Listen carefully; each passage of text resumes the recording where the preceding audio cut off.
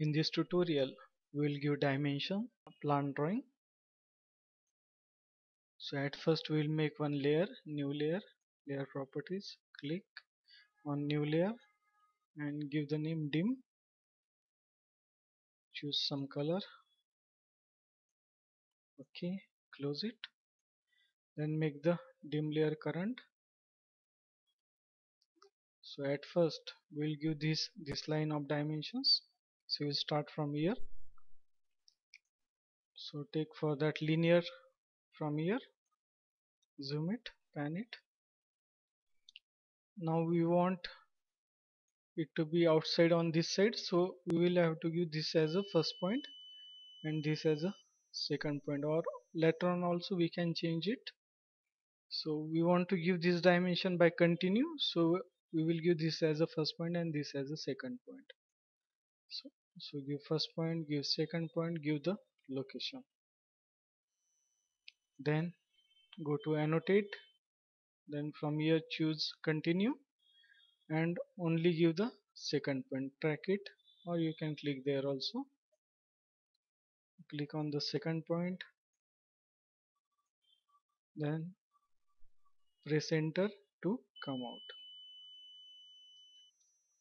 so I want this point 3 to be on that side. So just click it click this point and take it on that side. Just drag it and place it. Press escape to come out. So I want in between line here and uh, I don't want I want lesser precision. So uh, what I want is single digit precision or I will take this as a two digit precision. So that setting we will do it. So so for that you can click here dimension style then modify. Then we want click on primary units make the precision to two digits. Then we want in between line. So for that go to fit and click on here draw dim line between extension line okay clothes. So it has been arranged properly. Then we want it above the line. So for that again go for dimension style modify. Go to text and make it here in vertical make it above. And make it ISO okay close so it will come above the line. Then I want it on this line. So I will take it on this line. Press escape. Suppose I don't want this leader to remove this leader. Click on the dimension text. Hold sometime your cursor on this blue box and make it above dimension line. Then drag the dimension and match it. But I want this text to be below suppose so for that again hold for some time. Your cursor on this blue box. Then same move text only. And put it below.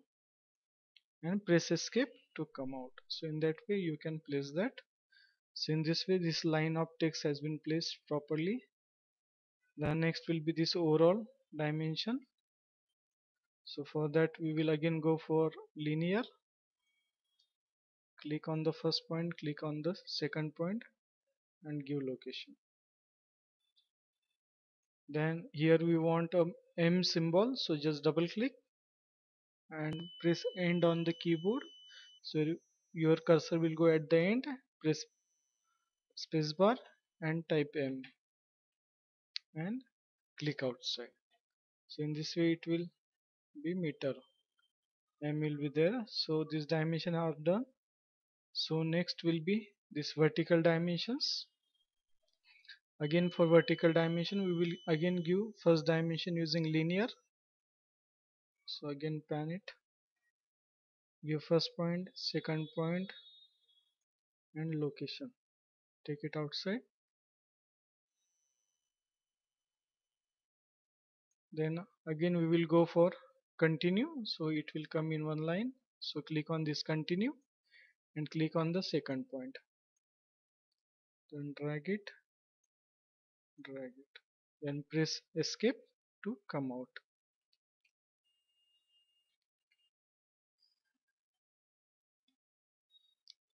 Now I want it straight and below suppose. So for that I will make changes to dimension style modify text and make it align with dimension line. Okay. Close so it has came straight then click on this click on this box and take it down. Press escape to come out. So it is there properly. Then for this point 3 we want to keep it inside.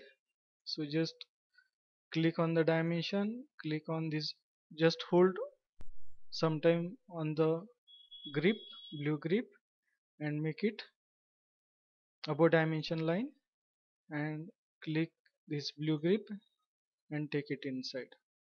So it will come there. Press escape to come out. Then for this again make it click then hold for some time make it above dimension line. So it will come there. Press escape. So just move M enter W1 and near to the window so then next will be to give the overall dimension. So 9.4 meter. So for that again we will take linear. Give the first point zoom it. Second point pan it and click. Then double click. Press end on the keyboard spacebar and give M click outside so in this way this right side dimension is also given. So what is remained now is this roof. So we have to write here roof. So for that we will use multi-leader and we will write it here suppose. Just drag the point and click and write it roof. Click outside so in this way these dimensions are also done.